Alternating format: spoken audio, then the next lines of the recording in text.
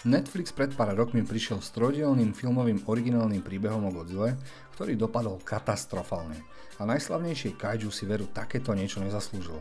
Preto som dúfal, a nielen ja, že si na novom seriáli dajú naozaj záležať a po prvom traileri som ostal v nemom úžase. Ale v tom najhoršom zmysle. Okrem ako tak fajnej animácie nevidím nič, čo by ma zaujalo natoľko, aby som dal znova Godzilla na Netflixe šancu. A to je smutné. Godzilla od detstva milujem. 怪獣怪獣災いの獣破局世界が壊れるリー博士という方からメールが届いています。電波を出す生き物。ジェットジャガーだ強えぜ音楽データの解析結果が出ました。何なんですここ。ラドンは？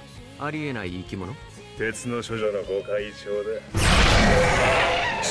地下に意志を持った骨。あれが破局へと向かう引き金。かしら彼女なら破局を止められるかもしれない。行けジェットジャガー